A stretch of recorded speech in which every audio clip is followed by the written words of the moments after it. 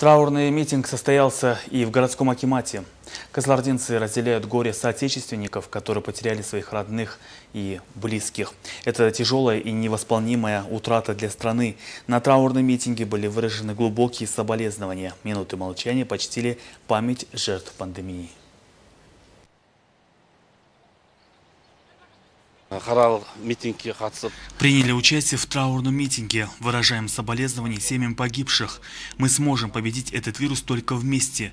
Мы не должны сдаваться. Уважаемые земляки, нужно приложить все усилия, чтобы вместе победить этот вирус.